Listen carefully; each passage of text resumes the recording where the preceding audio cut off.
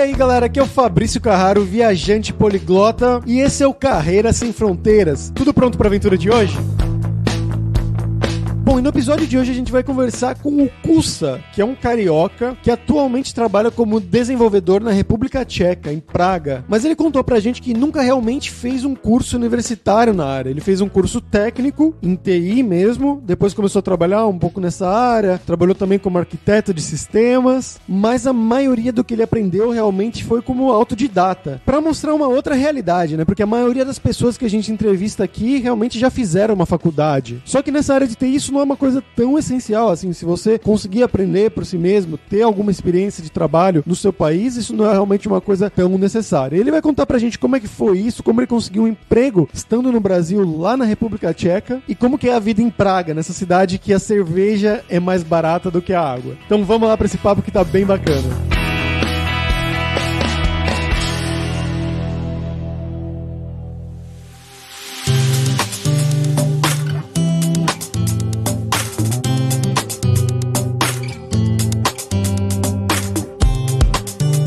Essa conversa de hoje, novamente aqui com a tcheca mais brasileira de todas, a Lenka. Como que você tá hoje, Lenka? Olá, tudo bom, Fabrício? Jak se mais?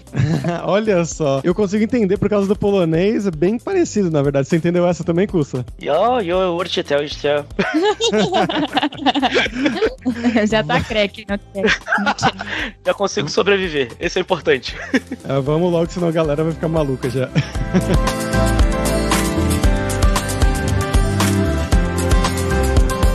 como sempre, só nosso jabazinho inicial, que o Carreira Sem Fronteiras é oferecido pela Alura Língua, cursos online de idiomas, com cursos de inglês e espanhol que eu, Fabrício Carraro, ajudei a desenvolver com os métodos que eu utilizei e utilizo para aprender idiomas como russo, polonês, alemão, grego, hebraico e assim por diante. Então vai lá em aluralingua.com.br e comece a estudar com a gente hoje mesmo.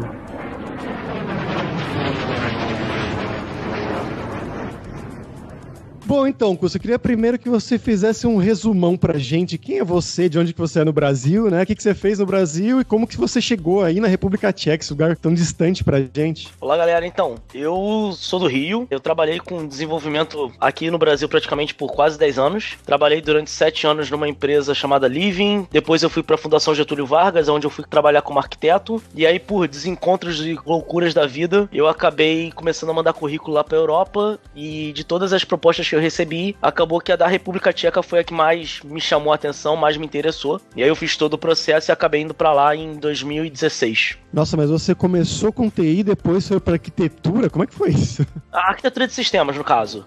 Ah, tá. Né? Porque você falou que comecei a trabalhar como arquiteto, já pensei. Não, arqu... Nossa, cara começou a construir casas. não, não. Eu trabalhava como arquiteto de sistemas lá na Fundação Getúlio Vargas. Por alguns desencontros eu acabei tomando essa decisão de ir para fora e consegui indo para lá. E, e como foi... é que foi no sentido de formação aí no Brasil? Eu li que você foi autodidata? Exatamente. Eu não tenho faculdade. Assim, eu sei que isso é até uma coisa que não é muito incentivável, mas acabou que eu não tive faculdade. Eu tive um curso técnico de informática muito bom, por sinal, aonde desde lá meus 15 anos de idade os professores já falavam sobre desenvolvimento de sistemas e acabou que eu comecei a trabalhar de certa forma muito cedo com isso. Tipo, eu trabalho desde os 11 anos, na verdade. E aí acabou que eu peguei e comecei a estudar tudo por conta própria. Então, toda a minha parte, apesar desse curso técnico, né, ele me deu uma base muito boa, mas aí eu comecei a estudar cada vez mais e foi assim que de certa forma eu consegui progredir.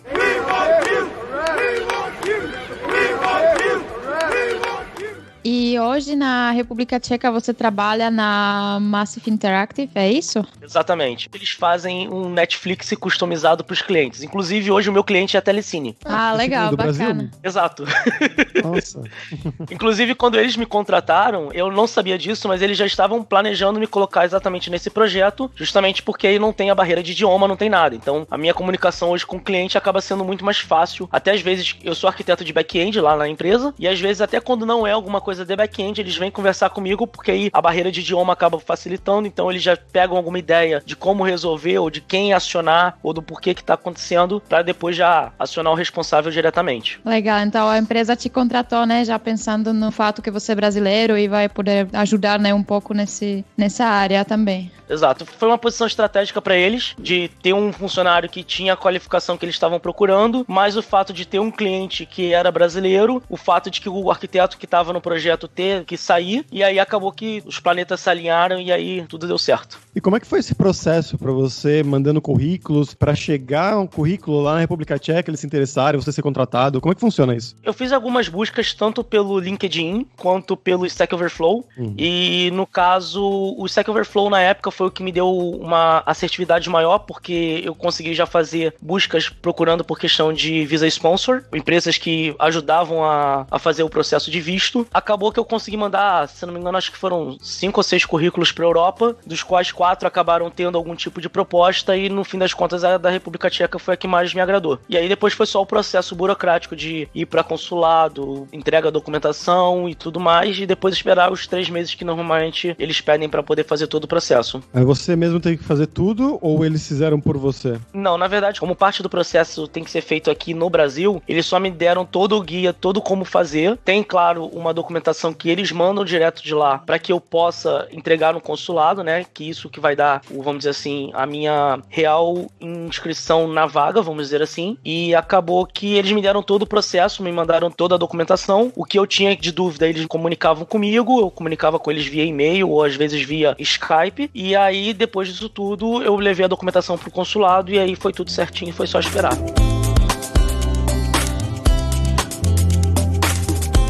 Como foi o começo no País Novo? Tipo, arrumar casa, começar a se relacionar, né?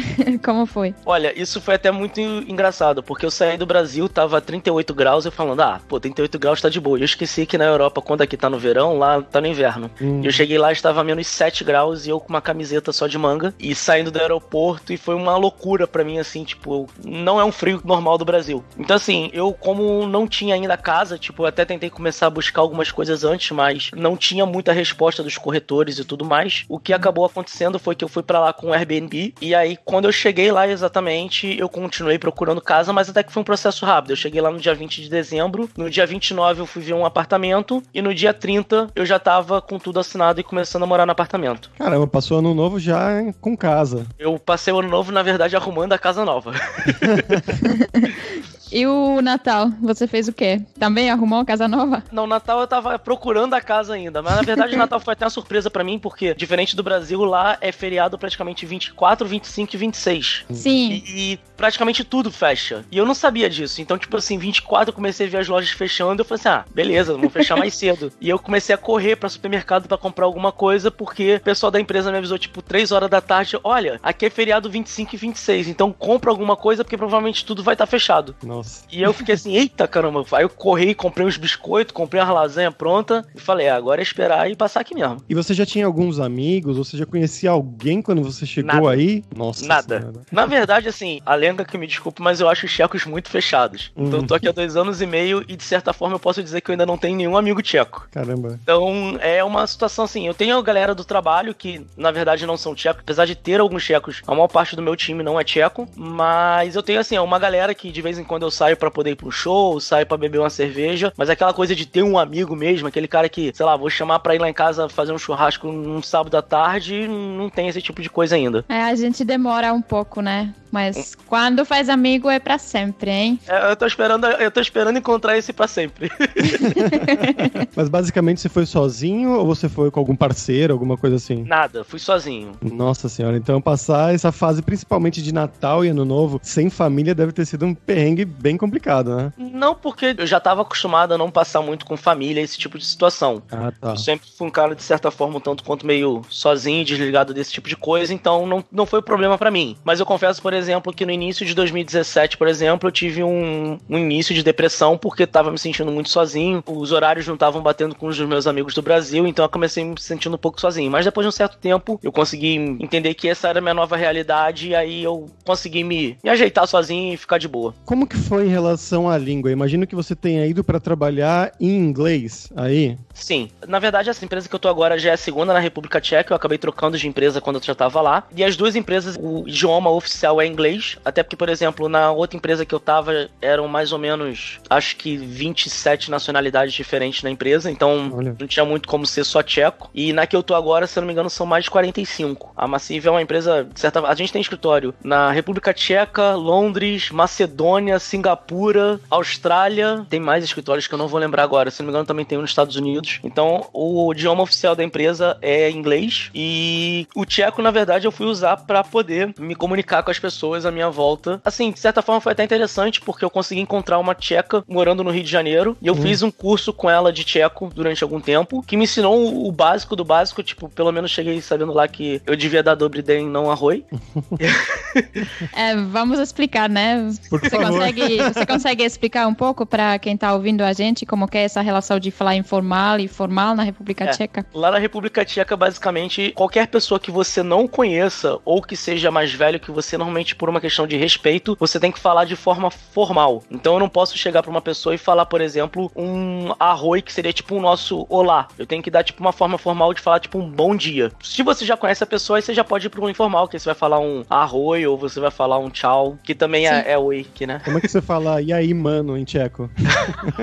Já que que seria, acho que é o mais próximo do que a gente teria um e aí, mano.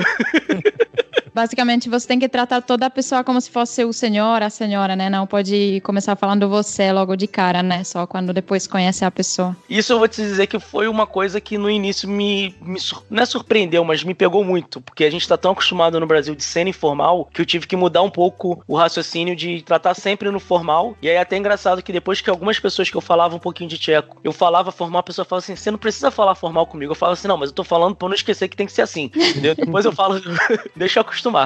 É parecido, tipo, tirar o sapato em casa, né? Porque na República Tcheca, quando você entra em casa de alguém, você automaticamente deve tirar o sapato, né? Você não pode entrar com o sapato na casa de alguém. Mas quando alguém te fala que você pode tirar, você pode tirar ou você mesmo assim fica, né? Mas não pode fazer o oposto. Tipo, já considera que pode e passa, né? Então acontece muito isso também com isso. Não, não precisa falar comigo formal, pode falar informal, mas você tem que esperar esse momento.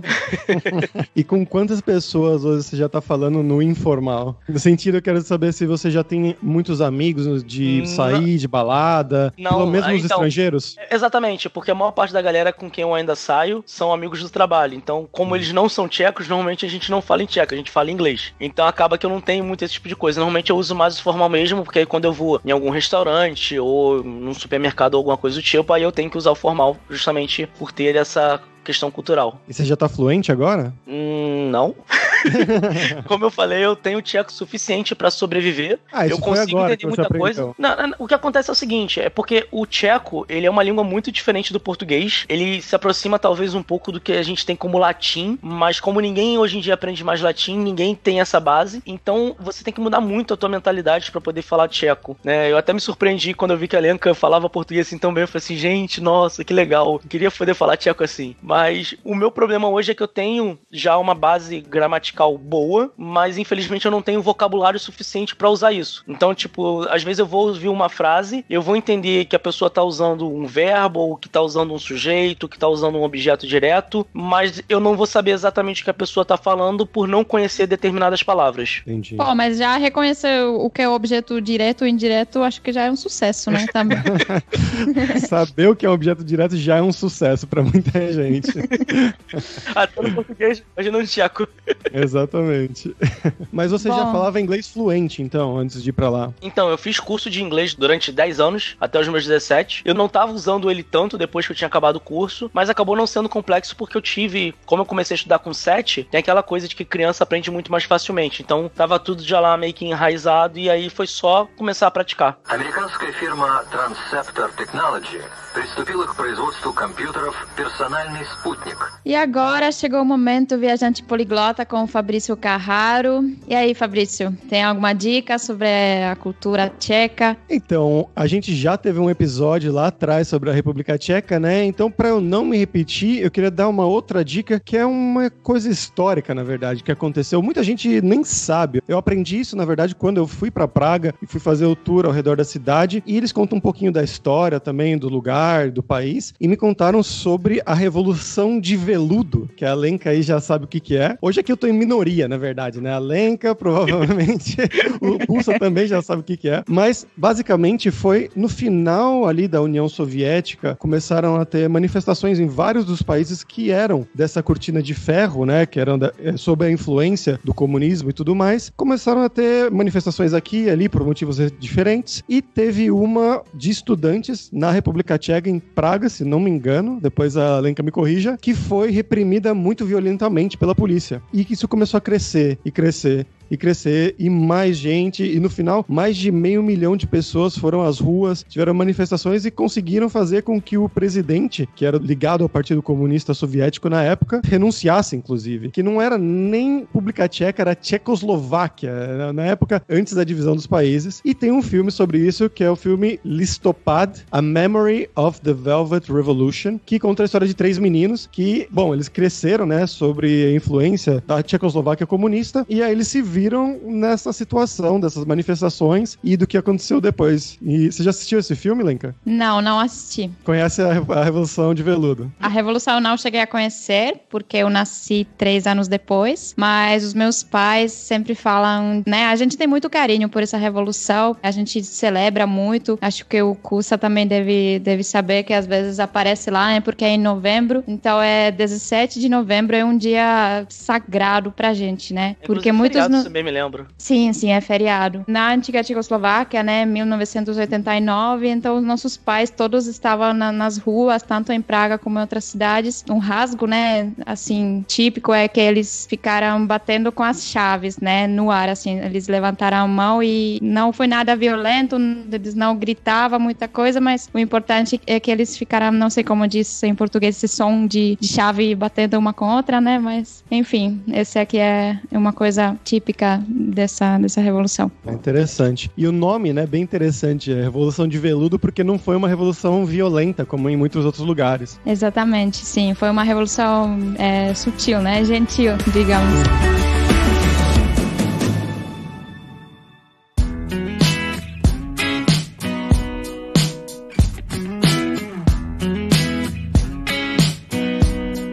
Kusa, o que, que você faz para se divertir aí, então, né? Dando o, também esse background cultural atual da República Tcheca, o que, que os tchecos fazem para se divertir agora que você tá aí? Além que já falou antes, então vou deixar que você fale. Eu acho que a coisa mais cultural que tem aqui é a galera sair do trabalho e beber um pouco no bar uma cerveja que é tradicional aqui da República Tcheca, né? Então, eu tenho um problema que eu não sou chegada à cerveja. E isso é uma parada que as pessoas ficam muito impressionadas comigo.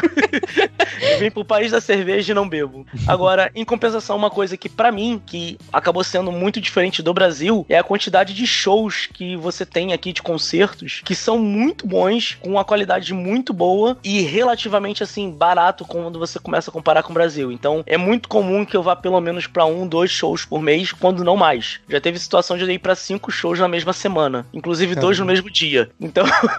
E tem é pouca uma... fila, né? Então, isso é uma coisa que para mim é impressionante. Não tem fila, as pessoas são muito educadas, então assim, não tem aquela confusão que a gente tem no Brasil. E assim, até mesmo dentro do show não tem muito aquele empurra-empurra, aquela coisa, assim, colocando assim, até parece. Porque eu Depende do show, né?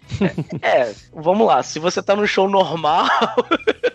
mas não tem aquela coisa da galera querendo se empurrar para tentar chegar na frente. As pessoas, inclusive, pedem para passar. Tem toda uma coisa que eu fiquei até muito assim, tipo, impressionado quando eu cheguei aqui, que eu não tava acostumado, vamos dizer assim. Além disso, uma outra coisa que é muito comum aqui, e que isso é bem legal, assim, para quando eu vim para cá, é que você tem o centro turístico de Praga, né? Onde tem, sei lá, 95% dos turistas, vamos dizer assim. Só que você tem alguns lugares que normalmente quem vai são as pessoas de Praga mesmo. Então, por exemplo, tem um lugar chamado Naplavka, que por sorte minha fica muito próximo da minha residência que é uma beira do rio, aonde a galera fica muito ali, tipo, vai para ali pra beira do rio, onde tem alguns bares em barcos. Então você consegue, tipo, sentar na beira do rio, ou basicamente num barco no rio, e ficar bebendo, conversando com os amigos, esse tipo de coisa. E acaba que às vezes ali tem algumas bandinhas tocando, e isso assim, é uma coisa que é muito legal, porque você consegue sentar e ver um pôr do sol ali maneiro pra caramba, e bebendo uma cerveja, conversando com o pessoal e esse tipo de coisa. Isso é uma parada assim que para mim foi muito legal. Esse freio na velocidade que a gente tá tentando viver a vida, de você sentar simplesmente e ficar olhando um lugar, ver o pôr do sol, esse tipo de coisa. Eu achei só curioso que ele falou sobre os shows, né, os concertos, porque a primeira vez que eu fui para Praga, inclusive, foi por causa de um show de uma banda russa que eu adoro, e eles foram fazer um show em Praga, porque tem uma comunidade russa gigante morando aí, e eu fui junto e tinha, sei lá, 90% de russos, 9% de, sei lá, ucranianos e bielorrussos que também falavam russo e um brasileiro lá.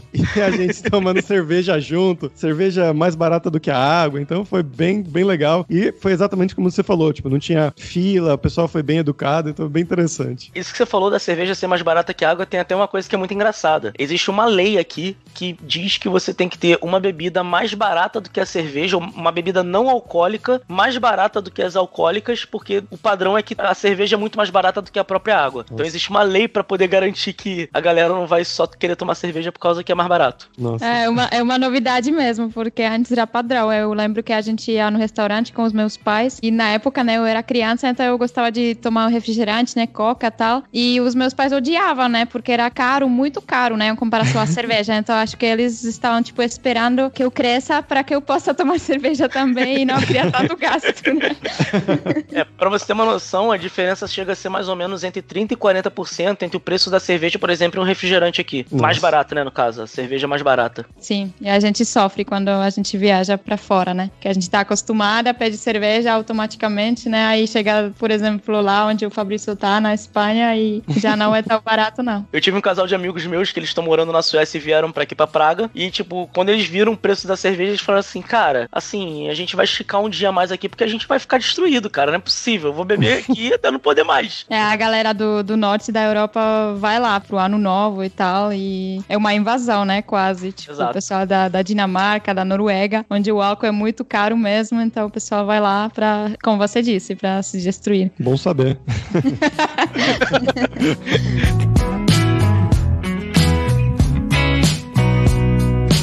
Bom, acho que a gente poderia falar um pouquinho mais sobre o trabalho, né? Como que é a dinâmica da empresa com os colegas? Como que é na hora do café, na hora do trabalho? Eles são mais focados, menos focados? Como que funciona? Como é muitas culturas diferentes, né? Por ter muitas nacionalidades diferentes, eu diria que é muito misturado. Tem algumas pessoas que são mais descontraídas, mais calmas. Tem uma galera que é totalmente mais focada. Mas assim, no geral, a interação entre a equipe aqui, tanto a minha quanto de outros times, eles são muito abertos a conversar, trocar ideia. Normalmente mais sobre trabalho, porque é como eu falei, as pessoas são um pouco mais fechadas, mas ainda assim rola muito de você chegar e sentar na hora do café e trocar uma ideia sobre alguma ideia de um projeto ou algo do tipo. Quando você já tem um conhecimento maior com a pessoa, até mesmo de coisas fora de trabalho, mas o povo é muito assim, a galera aqui da empresa, pelo menos, eles são muito receptivos, principalmente porque eu acho que como é muita gente de nacionalidade diferente, a gente não tem tantos amigos assim por aqui, acaba que a galera acaba se juntando muito para poder conversar e trocar ideia. Então, por exemplo, é de certa forma comum, como eu falei, não tanto os tchecos, mas a galera que é estrangeira aqui mesmo, a gente chegar e marcar, por exemplo, de sair para beber depois do trabalho ou coisa desse tipo. E a própria empresa, de certa forma, ela tem uma coisa de tentar fazer a galera interagir mais. Então, por exemplo, toda primeira sexta-feira do mês a gente vai para um barzinho aonde as bebidas são liberadas, no caso, cerveja, água, vinho e refrigerante. Se você quiser beber alguma outra coisa, você paga, mas tipo, acaba que a maior parte das pessoas bebe cerveja, então não é problema para ninguém acaba sendo tipo uma real confraternização onde não tem. Normalmente a galera tenta não falar de trabalho e fica só lá conversando, trocando ideia, bebendo cerveja. Às vezes algumas outras pessoas vão jogar um boliche depois ou algo do tipo. Então, assim, acaba que a própria empresa tenta fazer com que o ambiente para os funcionários acabe sendo mais interessante, vamos dizer assim. Você acha que é muito diferente de uma empresa no Brasil? Olha, eu trabalhei em duas empresas no Brasil, assim, por muito tempo, né? Tanto a Living Consultoria quanto a Fundação Getúlio Vargas. A Living até tinha algumas coisas desse tipo, mas não todo mês. A Fundação Getúlio Vargas, por exemplo, ela não fazia nenhuma coisa desse tipo de interação. E a Getúlio Vargas era até bem grande. Então, tinha muitas vezes que você trabalhava com pessoas que você nunca via na vida. Ou você nem sabia quem era, ou você nunca trocava uma dúzia de palavras. Então, assim, isso foi de certa forma uma surpresa para mim, porque a empresa aqui não é pequena. Aqui, no, por exemplo, no escritório de Praga, nós somos, acho que mais de 400 pessoas. E todo mês eles fazem isso para poder fazer a interação da galera. Eles promovem festas de fim de ano. A gente teve uma festa de verão que aconteceu em agosto. Então, assim, a empresa faz todo esse tipo de coisas para tentar fazer a galera interagir e acaba que, assim, não é uma coisa que eu via tanto no Brasil, pelo menos não com tanta frequência. E agora é o momento de falar sobre o dinheiro. Não precisa falar exatamente quanto você ganha, a gente não precisa saber, mas como que é a relação com o Brasil? Você ganha mais, menos? Como que é a qualidade de vida? O que você consegue fazer com o seu dinheiro? Conta um pouco. Olha, eu vou dizer que isso foi de certa forma até impressionante para mim. Quando eu vim para a República Tcheca, a relação de real para coroa tcheca, né, que lá não se usa euro, por mais engraçado que seja o motivo volta a ser a cerveja, porque o pessoal tem medo de aumentar, mas a gente usa uma a, moeda local, que é a coroa tcheca. E quando eu vim em 2016, a relação tava praticamente um real para oito coroas tchecas. Hoje essa relação já baixou, hoje tá mais ou menos um para seis. Mas o que eu vou dizer é o seguinte: o custo de vida aqui é muito baixo. É uma coisa assim que, até quando eu vou conversar com alguns amigos meus que eu falo sobre algumas coisas, eles ficam muito impressionados. Um desenvolvedor aqui, ele ganha relativamente bem, até porque a gente tem uma taxa de desemprego muito baixa. Então você normalmente só consegue um funcionário bom ou tirando ele de outra empresa ou você trazendo de fora.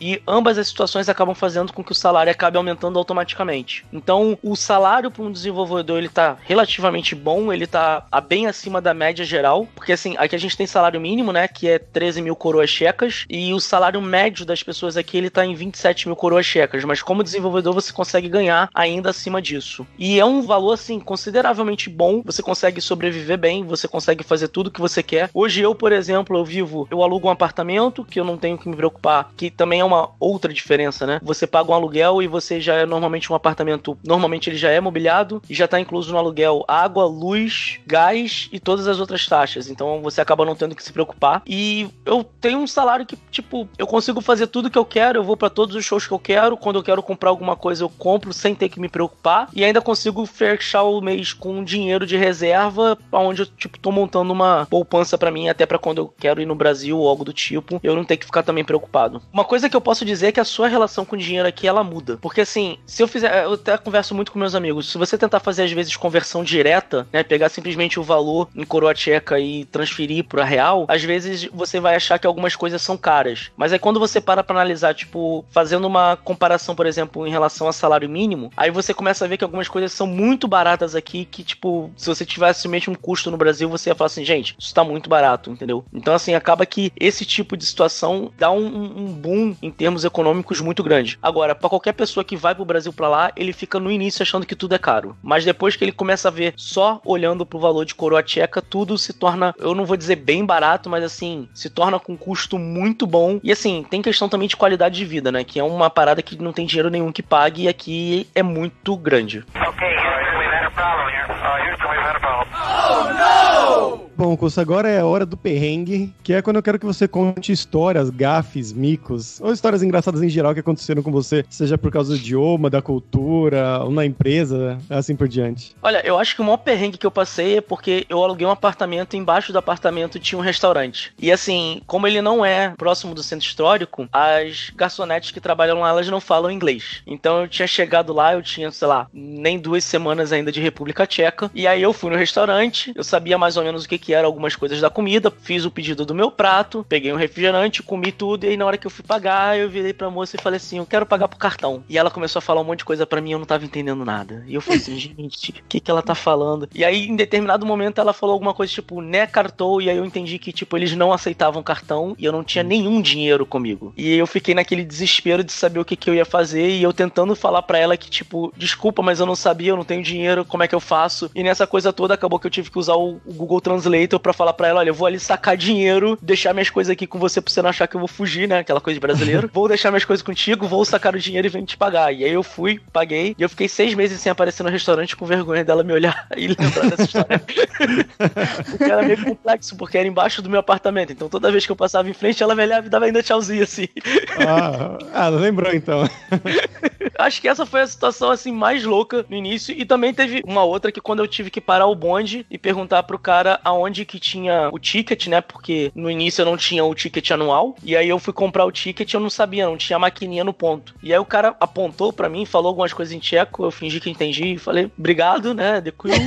e aí eu vi que tinha uma banca de jornal e eu fui tentar perguntar pro cara. E era um senhor, ele não falava nada de inglês. E aí eu tentei falar ticket e ele não, entendia. Eu saí da banca de jornal, fui andando, achei uma farmácia. Aí por acaso eu achei uma moça que falava um pouquinho de nada de inglês. E ela entendeu que eu queria comprar o ticket. Ela falou assim: Ah, newspaper store. Aí eu falei, eu pensando, pô, mas eu acabei de vir de lá. e aí quando eu voltei, eu falei Tranvaí, Tranvaí Listak, que seria tipo ticket do bonde. E aí ele entendeu que eu tava falando, porque ticket é um termo também que eles usam, mas acho que como ele já era mais um senhor, ele não usava tanto um termo que já é mais comum para inglês, né? Uhum. E aí que ele entendeu o que, que eu queria para poder me vender. Mas acho que foram as duas únicas, assim, situações loucas que eu passei, de certa forma. Perrengue, acho que só foram esses dois. Sobreviveu, legal legal. É, eu falei, hoje em dia, eu tenho hoje meu cheque suficiente para sobreviver. Eu não falo que eu, eu não sou fluente, eu consigo me virar. De fome eu não morro.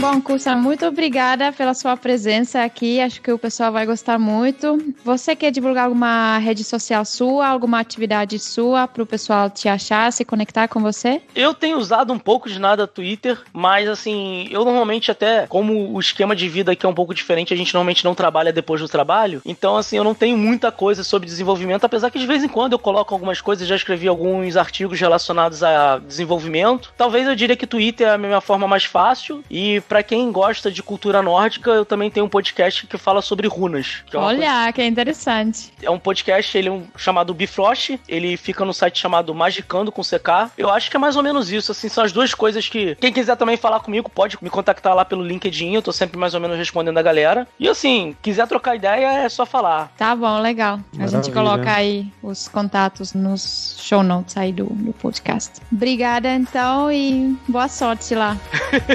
Obrigado. Obrigado.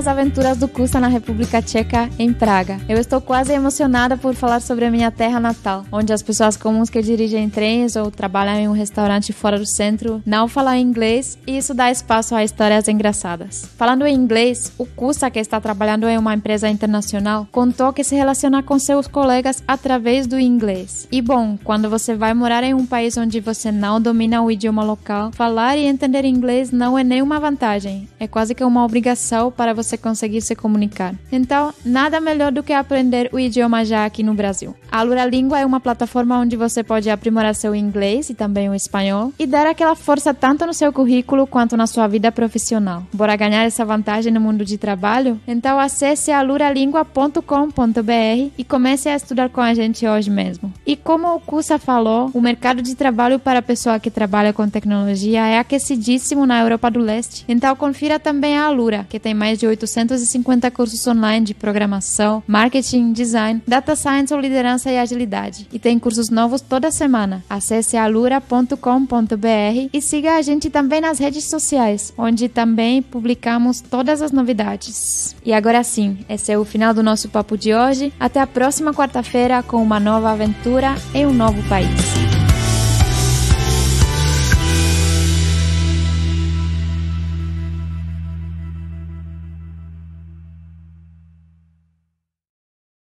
Este podcast foi editado por Radiofobia, podcast e multimídia.